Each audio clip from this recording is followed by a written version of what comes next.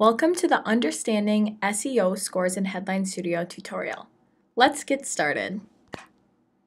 You can see your SEO score for this headline. So whereas the headline score referred to how clickable and shareable and engaging your headline is going to be for most people um, who will be reading it, your SEO score tells you how your headline is likely to perform in search engine results overall.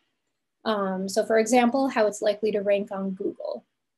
And this is something that we have totally added from the ground up for Headline Studio compared to the old Headline Analyzer.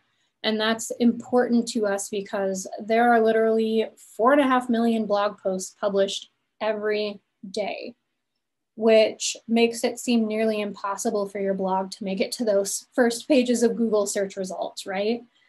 So just like the headline report, the SEO score report is going to show you areas you can improve in so that your headline has a better chance of ranking higher in those search results. And so more people will hopefully be able to find your headline and your blog post in the first place. It's not a guarantee, but it is definitely going to give your headline a better chance of having those higher rankings in search.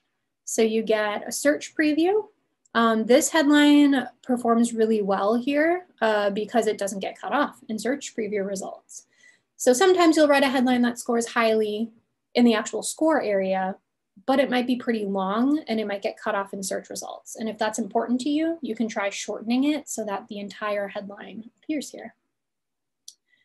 Um, you can see your top competition's headline scores and ours is actually higher than 100% of our competitions, which is awesome. You can see an actual list of our top competition too. So you're gonna see all the other skincare tip blogs and beauty blogs out here that are talking about skin secrets, skincare tips, um, all that kind of stuff. And you can see how their headline headlines score. Um, and you can even just get ideas from their headlines, which is really cool, like transform your skin that could be an interesting thing to try in this headline too. Um, you could do like a top 10. Yeah, there's lots of ideas here. And then you'll get to see a list of keyword variations that are similar to the ones in your headline.